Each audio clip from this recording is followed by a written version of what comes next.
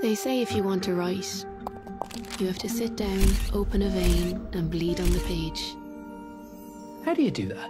Obituaries. I spent two lines out of a hundred on how someone died. Yeah, but you make your living from death. Circulation is down. You'll get 200 an obit.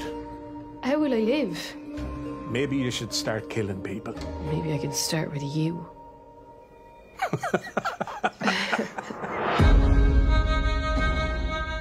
Kilraven, population 5,000 and falling.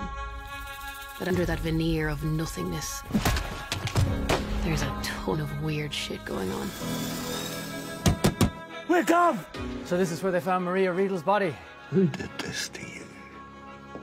Sorry I'm late. Don't worry about it. You don't like him, do you? If my purpose in life is to kill, I think I'll make some rules.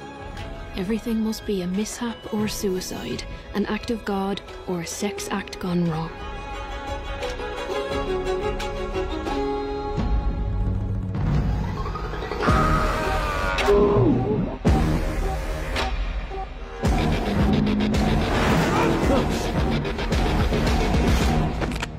What bothers me is That it took someone dying for you to write something this good